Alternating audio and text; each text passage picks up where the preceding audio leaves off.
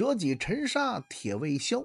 自将磨洗任前朝，东风不与周郎便，铜雀春深锁二乔。前文说，咱们讲到征缅将军明瑞孤军深入兵困蒙密，在蒙密啊无粮无食，最后决定呢兵发蛮化去抢粮。结果呀，到了蛮化之后，发现这儿真有缅军的粮草。可是同时也发现呢，这地儿待不住。为什么呢？因为这个地儿啊易攻难守。如果从这里长期扎营，很容易就会被缅军围困，然后吃掉。这粮食问题虽然暂时得到了解决，但是现在困扰明瑞的还有很多问题，比如这个战马、弹药以及后援补给，还有最难受的就是啊，每天都有被瘟疫放倒的士兵。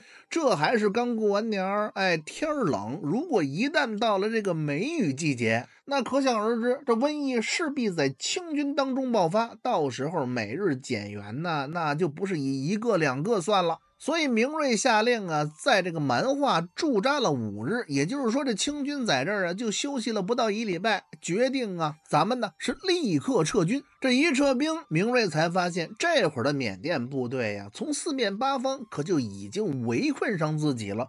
最初，这明瑞认为啊，在自己正面阻击自己大军的，也就是缅甸的所有主力。可是现在呀，他的看法变了，因为他发现呢，这缅甸兵是越打越多。这书中代言是什么原因呢？这是因为这缅甸的主力军呢，这会儿已经从这个暹罗战场撤回来了，因为暹罗那地儿被他们拿下来打赢了。明瑞呢，率领着自己一万二千多清军，离着缅甸的首都阿瓦城越来越近，所以这缅王蒙博呀，哎，就赶紧的把这支得胜的部队往回调，保卫首都，保卫领袖。要说呀，这缅甸的士兵可能是单兵战斗能力不及清军，可是呢，这会儿的缅兵有多年的长期作战经验，从将军到士兵，那都可谓是能征惯战。这些从暹罗战场上撤下来的缅军，可没傻乎乎的从正面直刚这个清军，他们选择的是包抄啊，有两个用意：一呢是先把这清军占领的木邦以及蛮木一带呀收回来。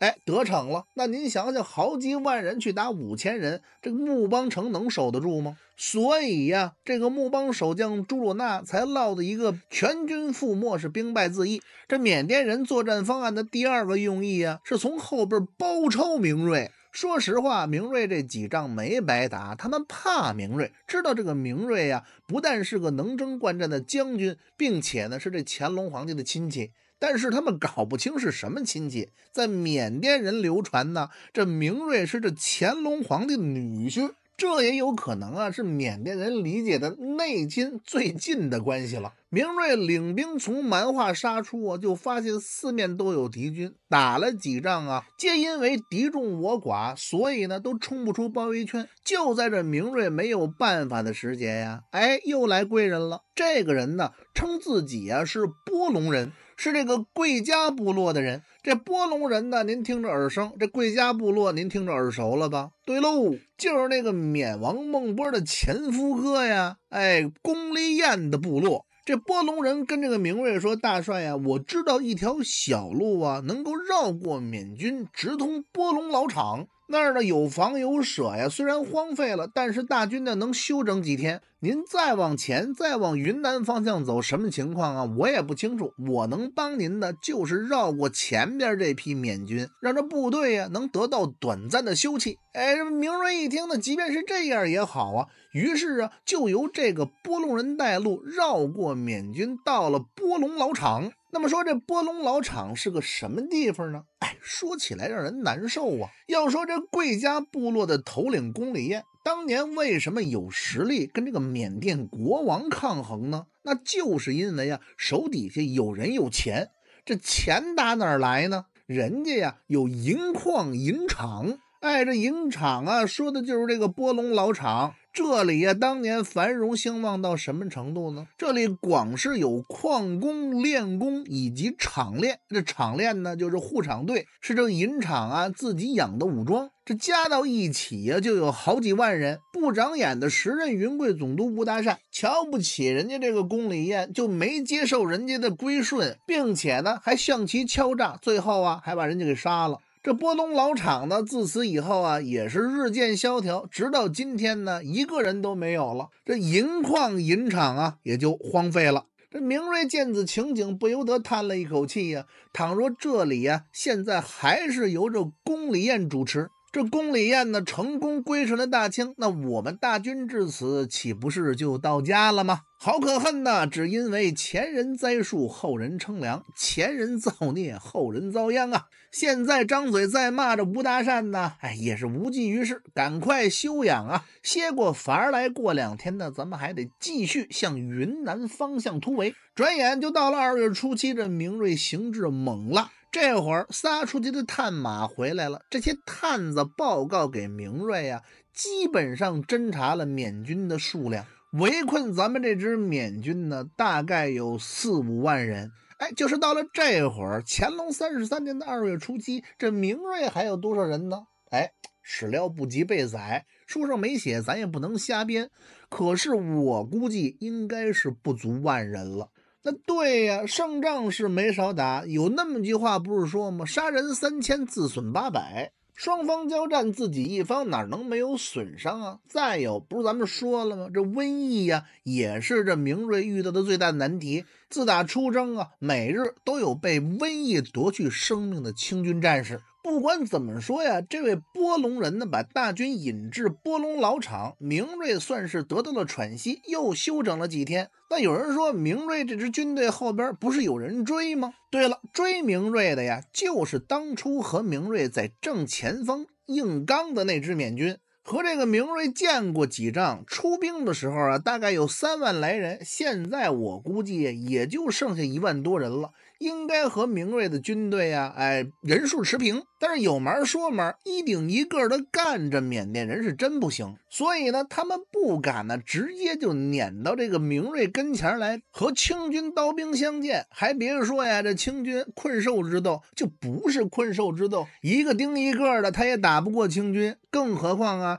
就在前一段时间，这支追击部队还让明瑞一通垮抽，打得挺惨。那这是怎么回事呢？这还是这个明瑞啊投到这个蛮化之前，那可能是啊这明瑞最惨的时候，这军中的粮食啊哎没有了，是一点都没有了，所以明瑞才放弃了攻打缅甸首都阿瓦城，哎改攻蛮化，到那儿去抢粮食。正在这大军呢转向蛮化，还没到蛮化这期间，估计是啊这身后追击的这群缅军呢已然了解到这明瑞真实的军情了。他们知道这会儿的清军呢，又饿又累，已然是一支疲累之师。于是啊，这缅甸人呢就不把明瑞这支部队放在眼里。你们不是往前赶路吗？得嘞。开始啊，这支部队还远远的在十几里路以外追着明瑞。总之呢，我也不跟你打，我也打不过。你往哪儿走，我往哪儿走。我们的目的啊，就是跟着你，对你形成合围以后，再一口吃掉。现在前方呢，也就是木邦那边，这口袋底儿啊还没有缝合上，所以我们这边口袋嘴儿啊也不扎紧，慢慢的就是跟着你。可是后来，随着他们慢慢的了解到啊，这清军可能是。已经不行了啊，没有什么战斗力了，所以呢，这胆子就越来越大。每天呢，晚上跟这个清军扎营的距离越来越短，今天往前走二里，明天往前进一里，最后啊，竟然这明瑞把这个大军呢军营扎在山梁，他们呢把军营扎在半山腰，等于是明瑞坐在马上一回头啊，就能看见缅甸人的大营。这明瑞啊乐了，说这帮孙子真是。蹬鼻子上脸，他说：“贼轻我甚也，若不决一死战，亦将四毒于我，无交累矣。”那这句话好理解，你跟我这善脸呢，我非好好的想个办法臭你丫的！于是啊，传令三军从今天起呀，不走那么快了，慢慢的走，一边走一边观察地势。那有什么好观察的呢？这明瑞是想啊，好好的找一个易于伏击之地，给这群缅甸人呢上一课。这清军每天早上起来拔营起寨呀，都是这么一个操作。这四号手啊，拿出海螺来，哎，长短音儿啊，吹三遍。这全军呢就拔营起寨，再向前行军。这明瑞这会儿啊，为了给这个缅甸人加深印象，告诉四号手，这回再吹号啊，别往军营里吹，往身后头吹，这音儿啊给缅甸人听。这一来二去，一日长两日短呐，这缅甸人可就记住了哦，原来是三长两短海螺号之后，这清军就要拔营起寨了。那这省事了，还省得我们呀打集合桌了。你听见号起兵啊，我们听见号之后就跟着你。哎，这算是省事了。可是就有这么一天，这早上起来之后啊，又是三遍号响。这缅甸人知道了，那肯定是清军又拔营起寨了。得嘞，跟着你。出了帐篷，集合整队之后，才发现这山谷里也是大雾弥漫。缅甸的领军将军说：“那没关系，这一条山路啊，哎，没有其他的道路可选。这清兵呢，只有往前，哎，往后就是咱们，咱们跟着他也就完了。这有雾怕什么呀？无非也就是啊，快点慢点的事儿。于是这帮缅军呢，睡眼朦胧的提了这武器呀，屡屡夯夯的就往清军的方向跟下来了。”走到这个林深树密之处啊，可了不得了！四面伏兵四起，清军正以赴而上。这明瑞一声令下，清军万众突出，枪炮如雷。缅军拒不急战，急忙撤撤退，伤亡四千余人。从此每夜屯营于二十里余外。所以呀，之所以能容得这明锐在这个波隆老场能够休整几天，和前些日子追击这支部队呀，让清军打怕打疼了呀，也有相当大的关系。哎，可是，一次胜仗也改变不了这支清军以及明瑞将军的命运。明瑞率领大军继续前行撤退，可就到了二月初十了。明瑞啊，七座连营。在这个勐腊这儿扎营啊，已经有三四天了。那位说怎么不走了呢？哎，这回是真走不了了。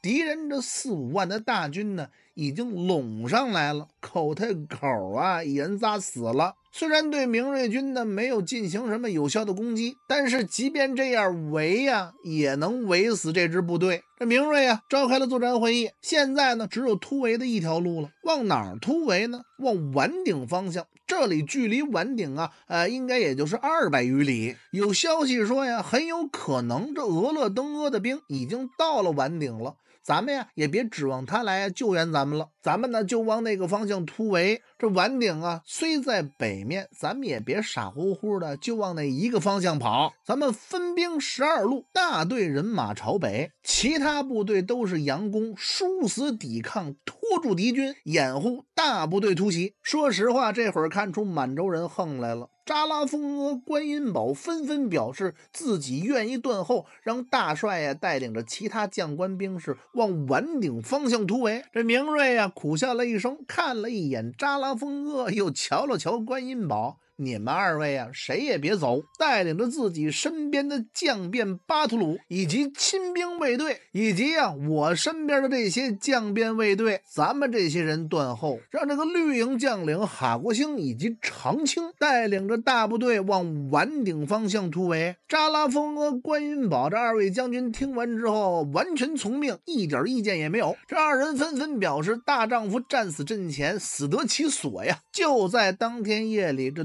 突围战呢，可就打响了。果不其然呢，这军中几位满洲主将身边带的这个侍卫巴图鲁加到一起呀，应该有数十人。还有啊，就是这几位将军身边的几百亲兵，在队伍的最后断后。这敌军发现这清军要突围呀，从四面八方啊，可就攻上来了。这大战呢，从深夜一直打到凌晨。断后的八旗将士无不以一当百，冲在最前面的扎拉丰哥呀。身中数十枪而亡。这观音宝啊，可是个老派的八旗。虽然现在呀，大家都兴使枪了。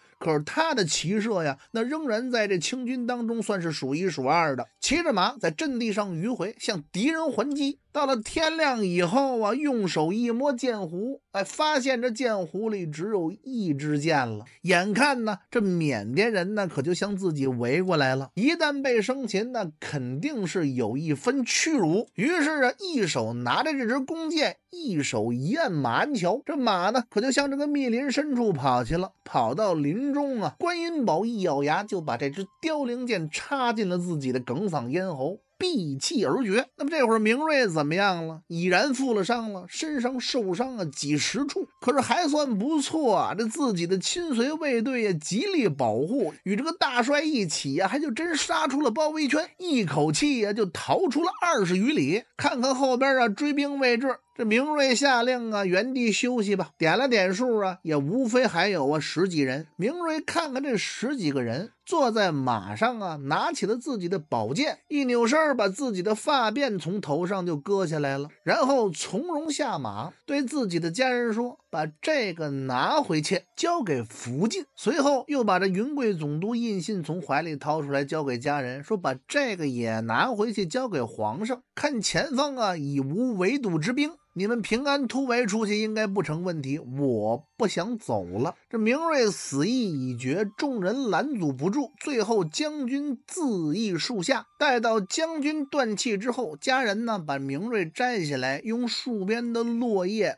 草草的掩埋了明瑞的尸体，才含泪呀回到了云南。这明瑞死在哪儿了呀？今天的缅北崩龙自治县曼同镇附近，一代将星就此陨落。第三次清缅战争以如此的方式就此落幕。乾隆皇帝得知自己爱将身死阵前，在养心殿内放声痛哭，这才要调兵遣将，有了这四次征缅。